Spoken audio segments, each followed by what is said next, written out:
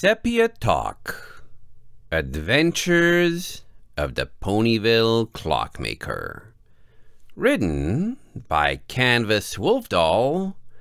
Published on the 24th of September, 2011. Chapter 1 Mr. Tock and His Work. Sepia Tock was awakened by the sound of his shop erupting into a din of alarms. He yawned and removed himself from his bed, picking a pencil up in his mouth, and then entered the store proper. His neighbors hated this morning ritual, but Sepia refused to cease it. He compromised by moving the trigger up an hour, but he felt it was his duty to perform the check every morning, walking by the shelves holding the alarm clocks, studying them one by one, stopping at each clock, leaving a tick on its tag if it worked, turning it off, and then moving on to the next in line. Those failing the test were moved to the back when Colgate arrived, and they would be carefully opened, the inner cogs and springs carefully examined by the two crafters of timepieces, magnifier squinted an eye, tweezers in mouth. Sepia enjoyed his work. He had inherited the trade from his father, and with it the shop and position in Ponyville.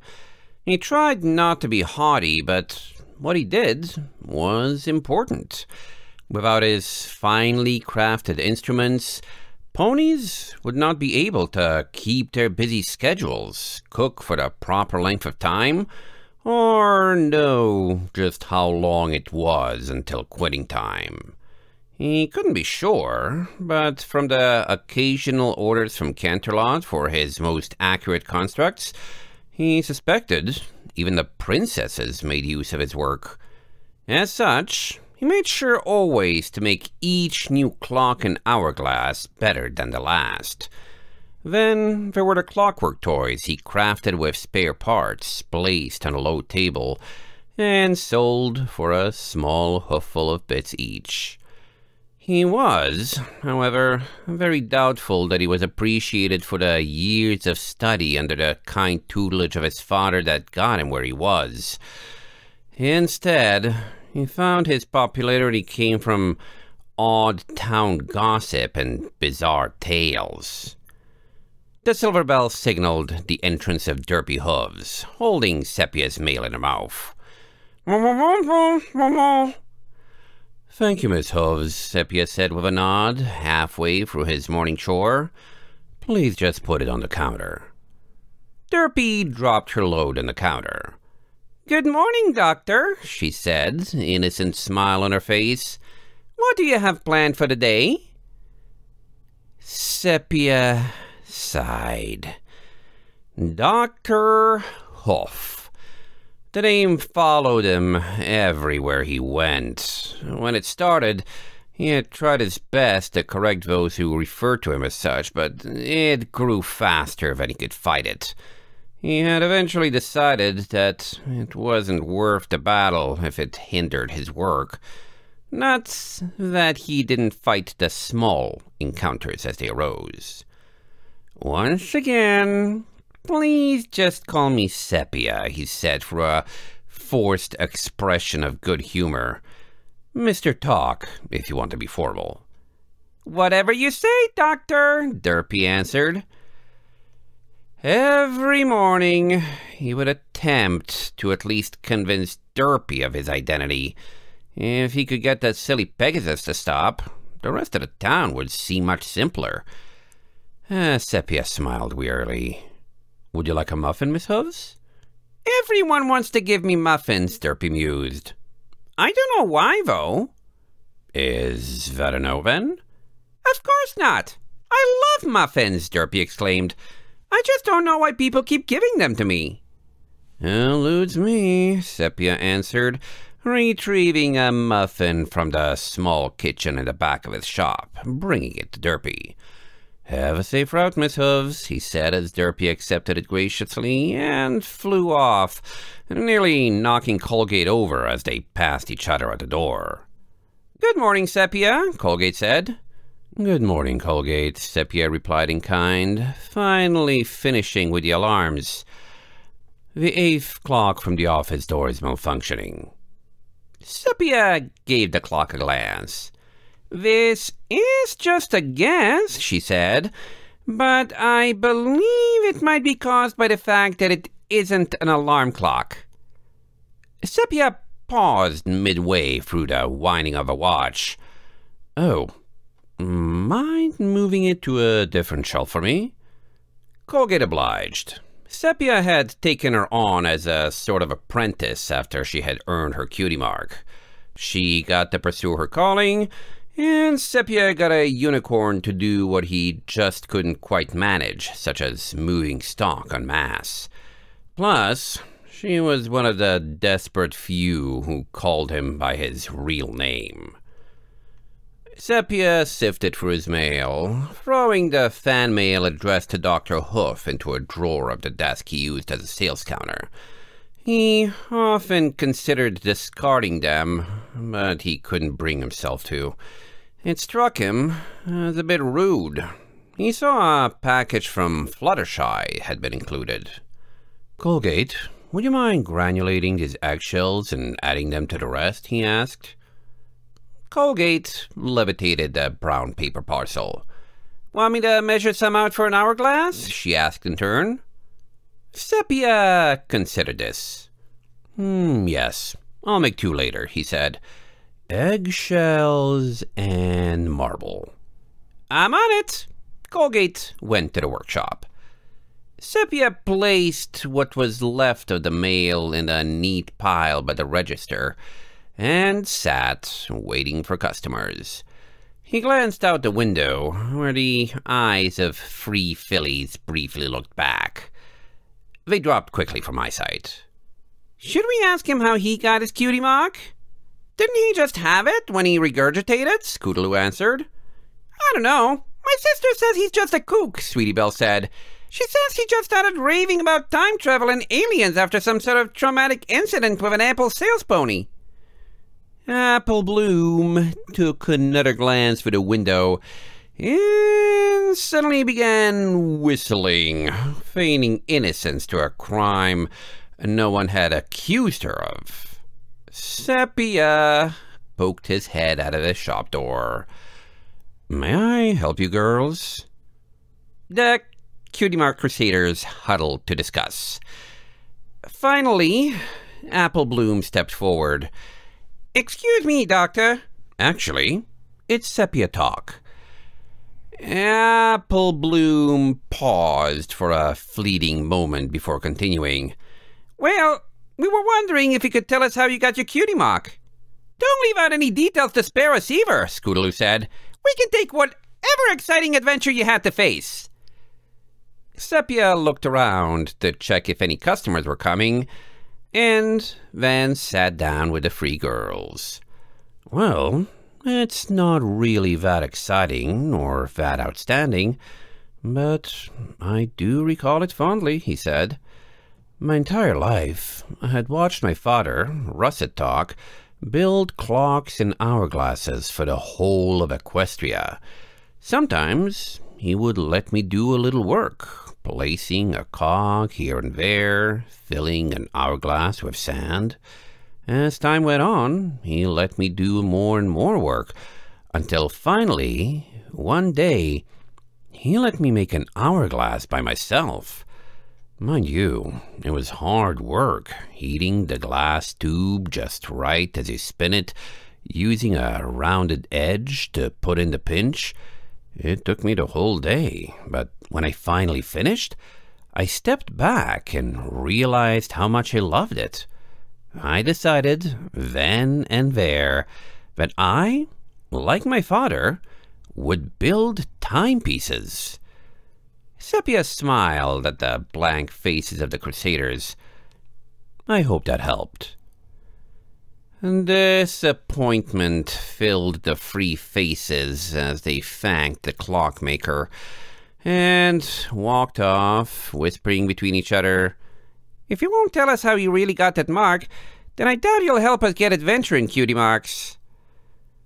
Sepia Tock went back into his shop, trying his best to ignore the overheard criticisms. He told Colgate to take charge of the sales counter as he went into the workshop. He turned on the most recent of Octavia's solo records, and then turned to the glass tube suspended on a contraption he had devised. It had taken him a while to engineer it, to get it to hold a thin glass and spin it without causing it to crack or burst. He turned on the welding torch suspended at the center of the tube and began to turn the wheel at the end, which began the rotation of the entire tube. Once it reached a desirable speed, he backed away from the spinning wheel of the contraption and crouched down to turn a smaller knob under the wheel, which brought up the bar used to place the distinctive pinch between the bulbs. He slowly moved the bar in place until after minutes of slow progress, alternating between the knob and spinning wheel, the bar reached its highest point. Sepia then went back to ensure the wheel was turning at an even speed. Soon, with the pinch well in place, Sepia took hold of another knob, this one bringing up the bars that shaped the bulbs of the hourglass. When the bulbs were shaped, he turned off the torch and lowered the bars. His father used to form the twin bulbs by a method of blowing and spinning them at the end of a tube, but Sepia had found the technique to be slow, inefficient, and hard to master. So, instead, he built a contraption. He left a shaped tube to cool, removing two empty hourglasses he'd made previously from the kiln, which cooked the glass to a tougher consistency. He placed the two, one by one, on the counter, by the cups holding the ground up eggshells and marble sand, which were always carefully measured by Colgate. He took two funnels from the hooks above the workbench, inserted the ends into the small opening on the top of the hourglasses, and poured the cups into the half bulb of the funnels, which slowly dropped the grains into the hourglass. Sepia opened the box under the bench and removed some pre-made hourglass bases, setting them down next to the bulbs until the sand finished pouring in. The phone rang in the shop proper, answered by Colgate. Sepia moved to another bench, covered in clocks in various states of completion. He selected one and moved it towards the end of the bench, where he used a clamp to secure it in place.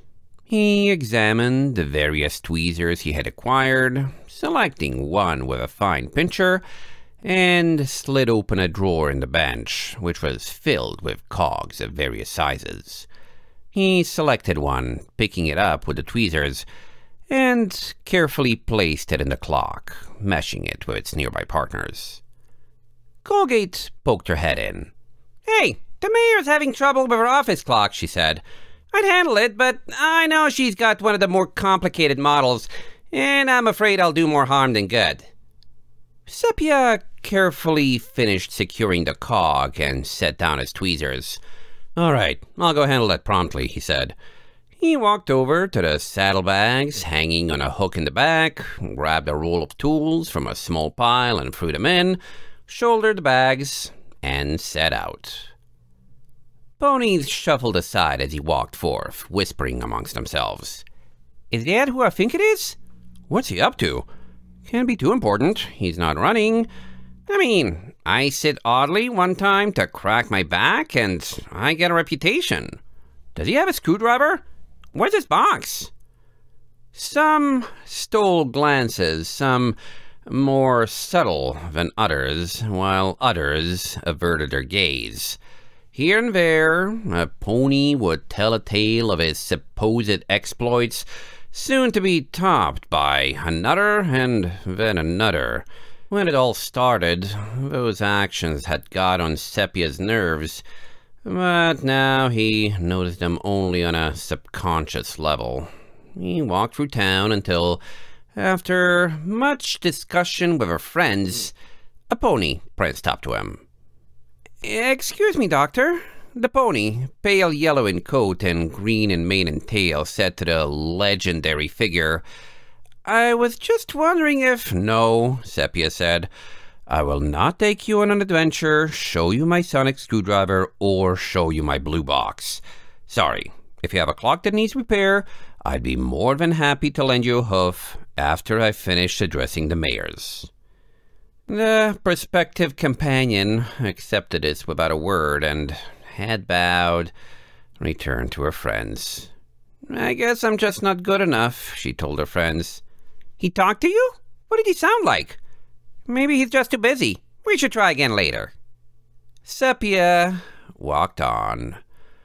Madam Mayor, Dr. Whoof to see you. Why, hello there, Doctor. What can I do for you? the mayor said when Sepia entered her office. You needed your clock fixed? Sepia said. How did you know that? Mayor said, flabbergasted. Sepia swallowed a sigh. That's what you told us when you called. You're working for the clockmakers? She gave Sepia a wink. Clever cover. No, it's not. It's a terrible cover, Sepia thought to himself, but said, Would you mind pointing me to the clock in need of my attention, ma'am? The mayor pointed, and Sepia set to work, placing the clock on a nearby table and opening the back. He donned his magnifier lens and checked the intricate mechanizations. So, what's the problem? he asked. Well, planning for winter wrap up is falling behind yet again. Princess Celestia wants to spend a day in town, and I still haven't gotten my ticket for the Grand Galloping Gala, the mayor answered as she shuffled through the cluttered mess on her desk, examining papers here and there. Sepia counted to ten in his head before speaking.